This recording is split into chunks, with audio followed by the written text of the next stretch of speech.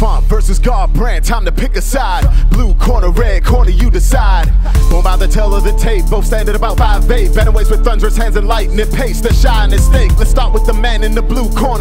The former king out here look like he's back on course. It's the beast, Cody G. No love, showing no remorse. Throwing time bending hooks like he's harnessed the speed force. Knocking cat straight to the moon after a three fight skid. Now he's looking to knock the rest of the contenders off the grid. Red corner, the cold, the bold hands, the shock to your soul. Three fight blaze with no time to flaunt. Repping the New England cartel, invading your block. It's Rob Font looking to make the former king kick rocks. Knock, knock with the hands. Who's better in the boxing stands? Whose footwork will take the lead of this dangerous dance? Will Cody keep his cool and utilize his techie speed, or will Rob work the distance with his advantage and reach? We'll see. Your UFC fight night, time to pick a side. Blue corner, red corner, you decide.